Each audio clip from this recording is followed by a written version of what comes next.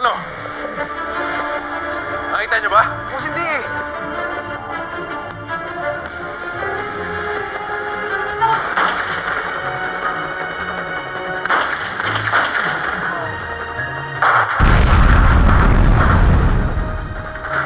Ayop ka, Cardo!